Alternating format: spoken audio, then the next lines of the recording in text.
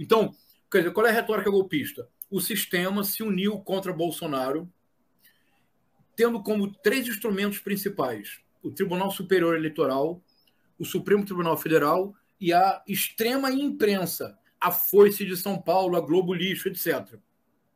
As pesquisas são falsas porque pretendem retirar a presidência do, de Jair Messias Bolsonaro, portanto, há um golpe em curso e, neste sentido, uma reação forte do Bolsonaro não seria um golpe, mas um contragolpe para salvaguardar a liberdade, que está sendo cerceada pelo Supremo Tribunal Federal. É uma narrativa delirante, mas tem coerência interna. É isso que importa para eles.